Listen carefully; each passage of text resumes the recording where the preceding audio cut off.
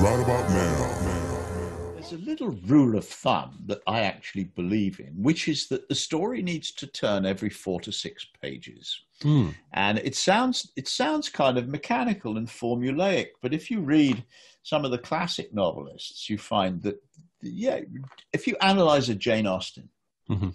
you'll find that there's a story turn about every four to six pages, and it's it's a good you know you you you if you you've written six pages about something and you find that you as the author are getting a little bit bored with this there's a reason for that. That's because you need something new to happen. And a story turn can be something small just like somebody telling a lie or or something big like a murder.